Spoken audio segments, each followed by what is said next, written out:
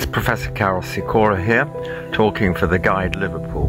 I'm the medical director of Rutherford Cancer Centres. Liverpool's a fabulous place, and it's such good news that on the 15th of this month, the city centre is opening up for shopping. Sure, it'll be different, but it's opening. Tremendous tribute to the hard workers in the council and all the other organisations that have got this going. Also, look at Liverpool, a powerhouse of medicine. Two fantastic buildings are going up. The new Royal Liverpool Hospital, you know, it's been here for a long time, for centuries. It was rebuilt in 1978 and now it's been rebuilt again. Sure, there have been problems, structural problems, the company that was building it went bust and so on, but it will open, albeit delayed, and it will provide superb service. It'll be different in the post-COVID world.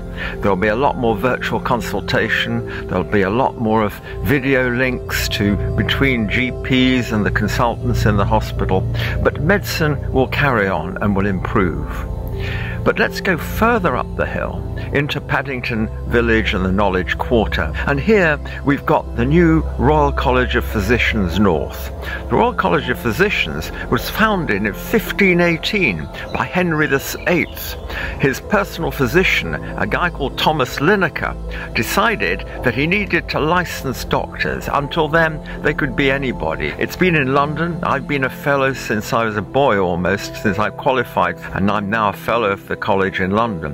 But two years ago, they decided to open a branch up north, and where would they come?